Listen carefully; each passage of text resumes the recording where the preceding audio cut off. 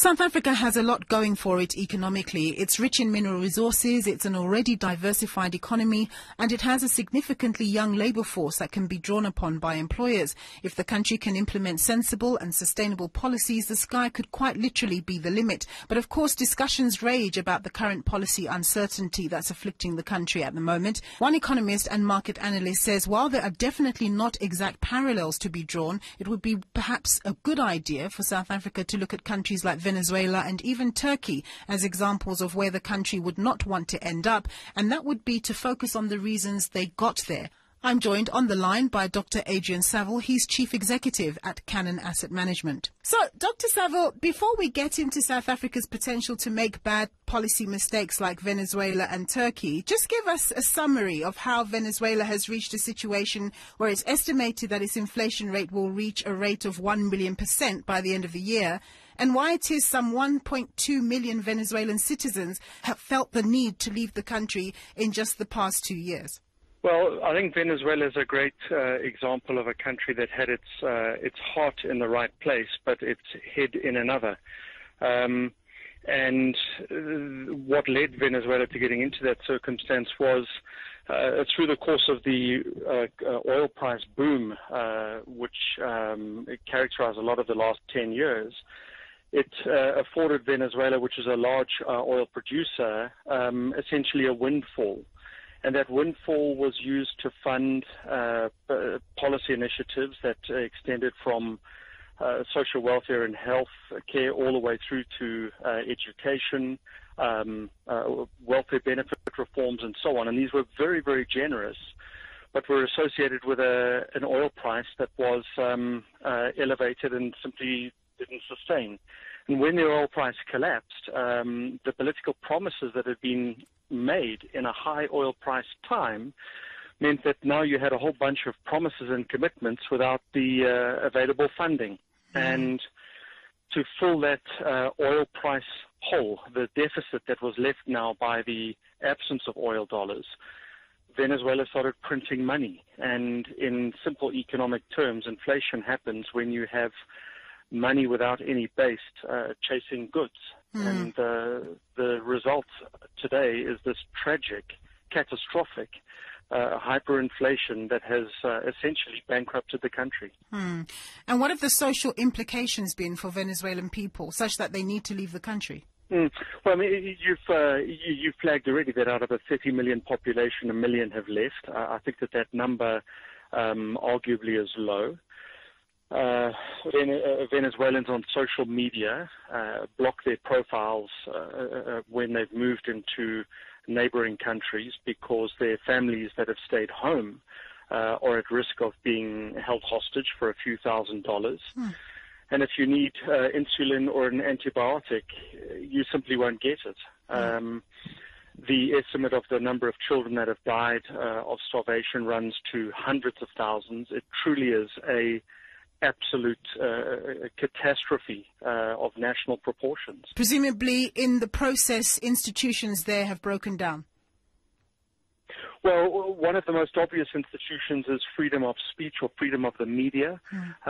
um, and your ability to uh, express your uh, objections or protests. So the uh, the consequence has been uh, uh, social media platforms have been closed down, that people act under the assumption that they are being tracked by government or traced by government, followed by government. And uh, anyone who has put up uh, sufficiently bold protest uh, has had that met with uh, with jail time.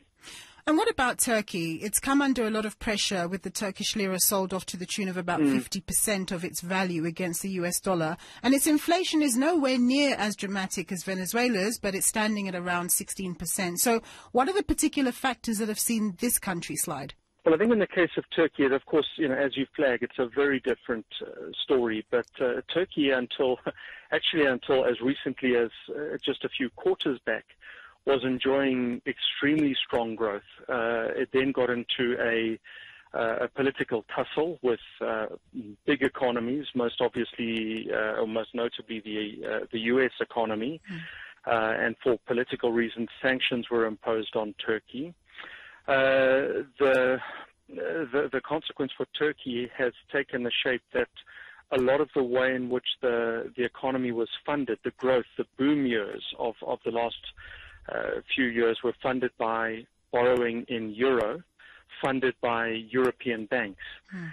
And when the Turkish lira collapses, you know, to put this into our language, this would be equivalent to the rand going from 14 to or 15 to to the dollar to 22 to the dollar, and all of your bank borrowing is in dollars, not rands.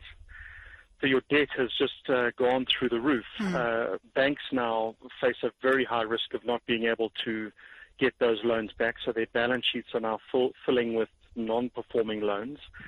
And it means that uh, the collapsing currency is translating into a banking crisis and that's quickly feeding through to inflation, which at the moment is modest, but looks like it will easily go materially higher. Mm.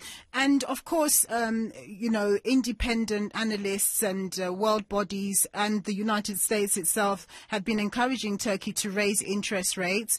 If they do that, mm. um, how is that going to help them? Because obviously they still that owe that money. Well, you know, what the higher interest rate would do is it would put a brake on uh, the the extreme market reaction, uh, and it's uh, admittedly it is a conventional, or what we call a Washington consensus type reaction, and it is hard to, uh, at first blush, see how hiking interest rates is going to help a system that is already under uh, incredible financial pressure. But uh, the alternative uh, that they have at the moment is to do nothing. And uh, the uh, policymakers in Turkey have chosen not to hike rates, um, or initially chose not to hike rates. Mm. The idea being that if they hike rates, it was uh, a quick way to get uh, political opposition, to get them sort of voted or t- to lose popularity in votes. Mm. But this requires tough policy decisions and it requires discipline. Uh, higher interest rates would stabilize the banking system, tame inflation, and at least stand some chance of uh, retaining capital. In the absence of higher interest rates, the banking system uh, runs out of, spins out of control. What little capital is left flees the country. Mm and the 50% uh, Turkish lira collapse turns into a 75 or bigger collapse. So now, so we, it's, it's, mm-hmm. it's, the lesser of two evils. Mm, no, I hear you. So now we come to South Africa, where our inflation rate is 5.1%. That's within the Reserve Bank's inflation target band, and the rand has depreciated by between 15 and 20% against the US dollar this year. And that's not all due to internal country factors.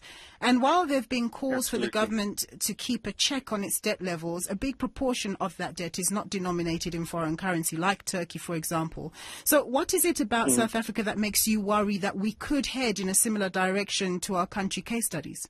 Well, I think you know we need to be careful uh, not to draw uh, too strong uh, a parallel, mm-hmm. but but I would venture that they, in each case, they sort of uh, ring some some warning bells. In the case of Venezuela, the most obvious uh, warning bell that is uh, that is rung is that uh, policy promises uh, are all good and well. They uh, they point to a rosy future, to desirable outcomes, and make absolutely no mistake. South Africa needs uh, pointing to a much brighter future. We sit with elevated unemployment, gross inequality per capita incomes have been stalled for a decade. Mm. But pointing to uh, rosy policy promises is very different to delivering them.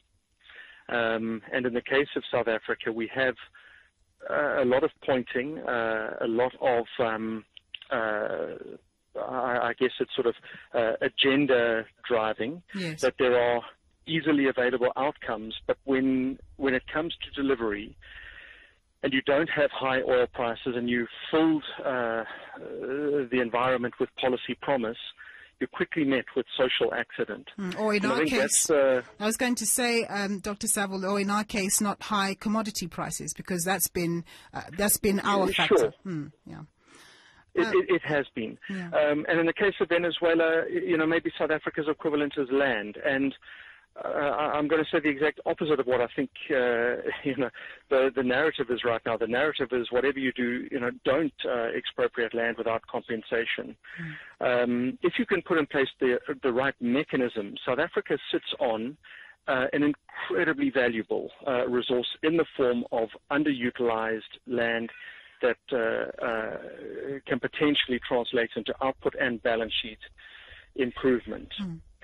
The Turkish story is uh, uh, is a reminder that um, that you're part of a bigger system, um, and at a time when South Africa is trying to attract $100 billion in foreign investment, mm.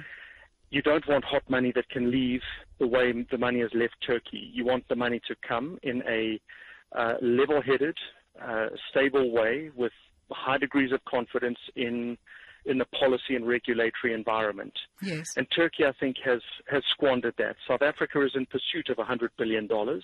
We can look to Turkey to what not to do. Yeah, no, I hear you. How tricky is it going to be for South Africa to keep its budget deficit in check? Do you do you think, especially in light of overspending on the mm. public sector wage increases, for example, and of course this big push to establish programs like the NHI? NHI is uh, deliverable. Public sector wages are not out of hand if they're matched with uh, productivity. So, you know, in good, in good, economic fashion, I'm putting qualifiers into your uh, your red flags. Yes. Uh, so South Africa has a very bloated uh, uh, public sector wage bill.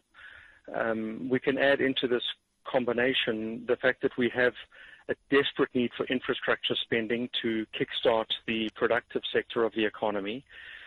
But the SOE coffers are empty.